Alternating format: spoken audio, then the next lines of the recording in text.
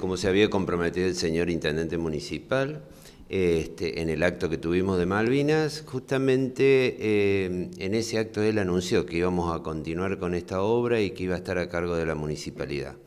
Esta obra se ha reiniciado, estaba faltando todo lo que es el techo, lleva un cielo raso, lleva algunas salidas de aire e ingresos de aire porque es un banco de prueba que simula un túnel de viento y bueno, es una inversión muy importante por crédito fiscal que se obtuvo dicho banco de prueba de la empresa Toyota, que nos facilitó a través de la gestión de la Dirección General de Educación Técnica y Formación Profesional, que nosotros dependemos, y que se hizo esta gestión y por suerte estamos terminando esta obra y calculamos que en unos 60 días o 90 más tardar vamos a tener ya listo nuestro banco de prueba.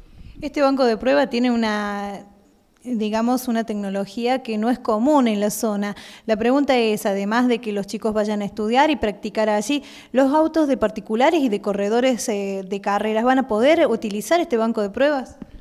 Mira, nosotros estamos tratando de organizar. Creemos que nuestros alumnos, eh, prestando un servicio, también van a mejorar eh, sus conocimientos y sus capacidades y fundamentalmente porque hay muchos vehículos que se están preparando en la zona.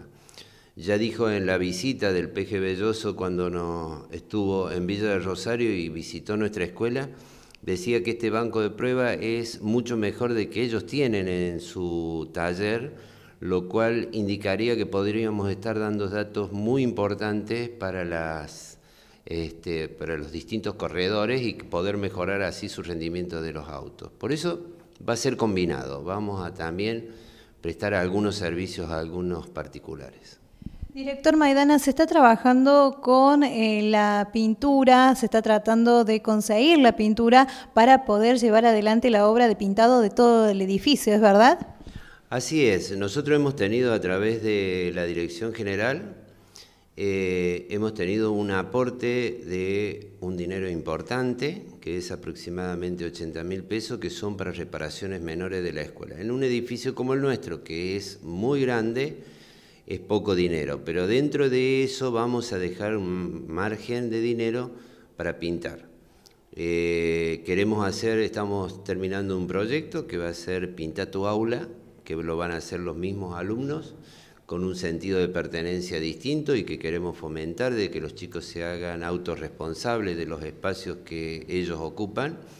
Y por el otro lado también hacer una pintura exterior que hoy ya le está faltando a la escuela. ¿no? Días atrás estuvimos eh, visitando las instalaciones que se dio la cooperativa eléctrica de Villa de Rosario, en donde se llevan adelante las actividades eh, físicas eh, del IP 55. ¿Cómo va la obra? Sabemos que hay que hacer un piso y además algunas remodelaciones. Mira, nos, han sorprendido en esta tarea, junto con los profesores de educación física y a cargo del profesor Diego Cugad, se ha estado trabajando fuertemente en ese espacio ya se han colocado arcos, el salón es un salón que estaba pensado para una industria, tiene unos rieles que vamos a sacar y que también contamos con el apoyo de la municipalidad. Y bueno, y lo que también nos ha sorprendido, más allá del compromiso de las instituciones, llámese cooperativa, que realmente estamos infinitamente agradecidos por prestarnos ese espacio, también eh, nuestros alumnos. ¿no? Nos han sorprendido porque fuera de sus horarios de clase han estado trabajando fuertemente para dejar en condiciones reales y, condiciones realmente importantes para que puedan realizar los chicos de educación física. Y por el otro lado, también les comento que eh, los papás se han comprometido en esto muchos papás con hidrolavadora, con conocimientos de albañiles, y etcétera, etcétera, hemos logrado que se trabaje en una forma conjunta.